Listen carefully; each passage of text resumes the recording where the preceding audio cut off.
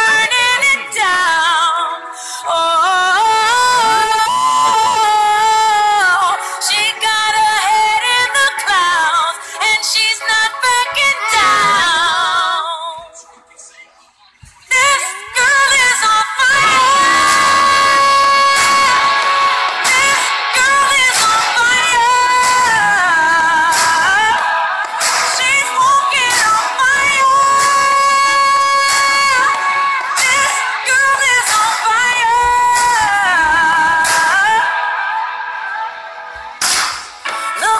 A girl, but she's a flame.